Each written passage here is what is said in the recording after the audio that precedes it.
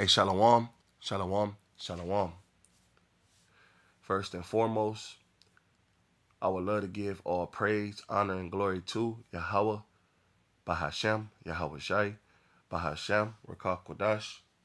Double honors to the apostles and elders, a great millstone that taught us this truth. Uh, blessings and safety to the elect. All right. And um, you know, here goes another, you know, judgment, you know, carried out by the way of a dog, man. All right. And for those who've been tuned in for the past few weeks, you know, I've been dealing I've been doing lessons dealing with, you know, how the Lord is is just using these dogs, man, to pretty much carry out judgment, man. And, you know, here goes another one. Okay? It says a baby girl mauled to death by family's pet dog. All right. And that's the spirit because uh, a lesson I did a few weeks ago, you know, I titled it uh, soon uh, you will have to uh, beware of your own dog, man. All right. Now let's let's let's go into this word beware. All right. Let's go into this word beware. All right. It says um, be cautious or alert to the danger of man. Okay. And when people put those, uh, you know, different signs on their on on their property, okay, uh, beware of the dog. All right, they want you to be, they want you to be uh, alert and uh, cautious to the danger of this, you know, pet that they have within their uh, premises, man. Okay, but soon they are gonna have to um, be alert to the danger of their own dog, man. Okay, not knowing that the Lord can pretty much you know, cut the light switch on at any time, and that and that same dog that they raised up from a pup, man, will turn on them. Okay. Matter of fact, let me just open up with that Jeremiah real quick. It's Jeremiah 15 and 3. And um, it says, I will appoint over them four kinds, saith the Lord, the sword to slay and the dogs to tear. All right. Now, when you go into the blue letter, um, when you go into the blue letter of that word tear, uh, I believe it's to drag. Okay, uh, let me see. It's Shalaki, I got some in my eye, and it's, it's been in my eye since this morning. All right, and it's you know fucking with me. Excuse my language. Uh, and it says the dogs to tear. All right, when you go into that word tear, it means uh, to drag, right? But let me uh, just look up another definition of that word uh, tear uh, real quick.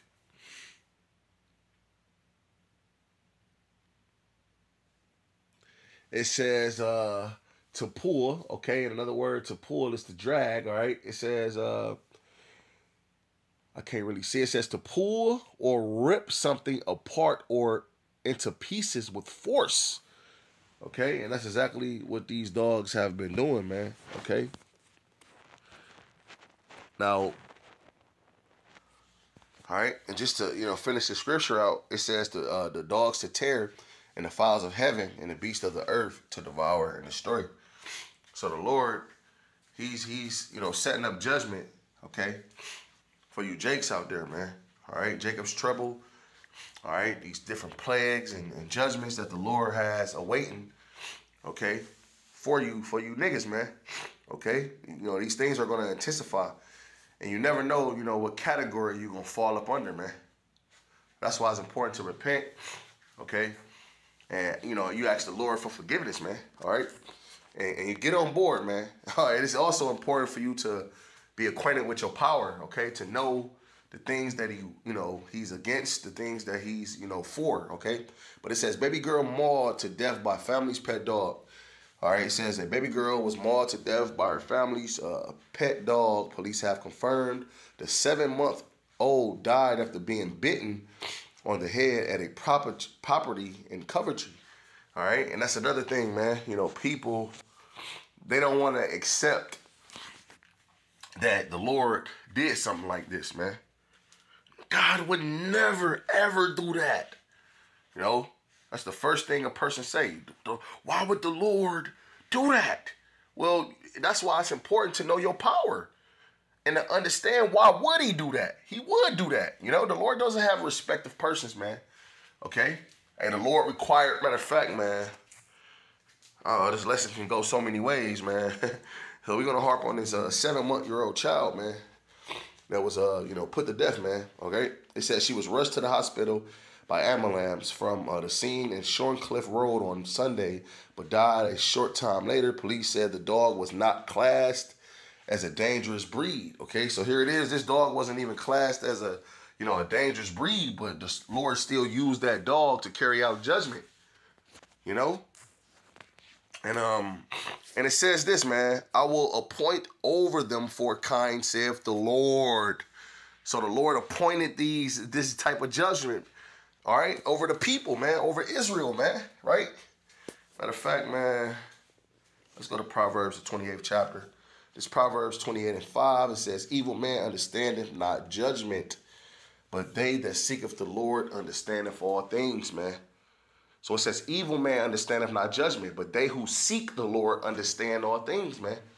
So we understand how judgment works. Now, the scriptures say that uh, after death shall the judgment come when we shall live again, man. So that seven month year old child had a past life. Okay?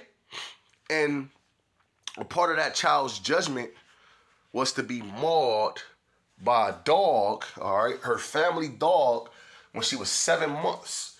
Okay? When she was in the spiritual realm, before the Lord, and the Lord said that would be her judgment, okay? And after three to four generations, she came back down, okay? And that judgment was carried out, man.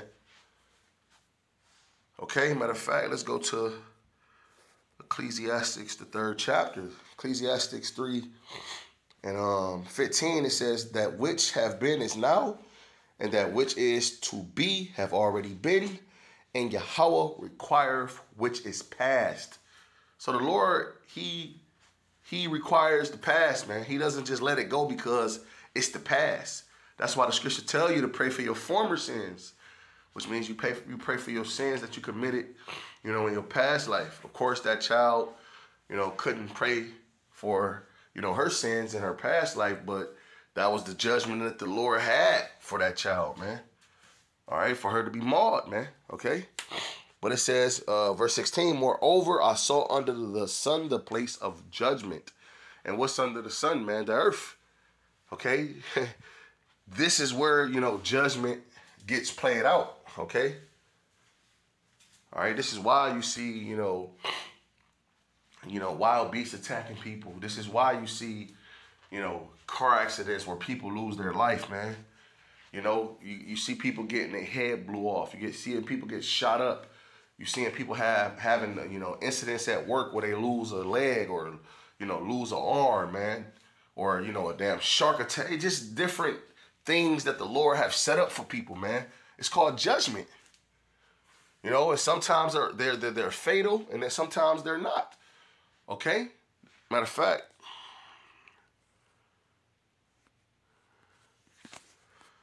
This is Deuteronomy chapter 32, verse 39, it says, See now that I, even I am he, and there's no God with me.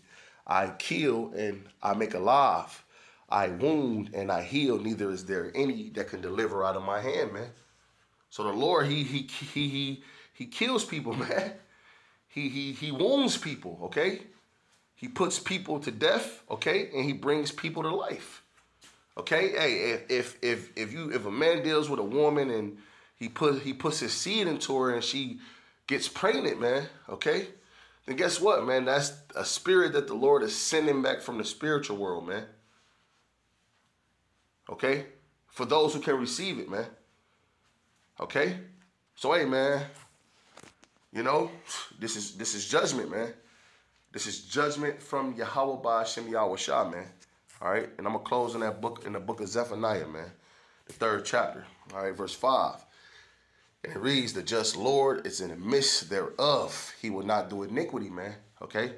You know, just because that child was, you know, seven months year, years old, man, it, does that make the Lord wrong for carrying out judgment? No. The Lord was righteous in that, okay?